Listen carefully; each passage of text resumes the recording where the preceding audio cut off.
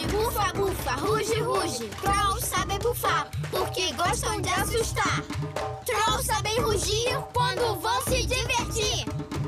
É melhor fugir ou se mandar, porque nós somos trolls e nós vamos te assustar.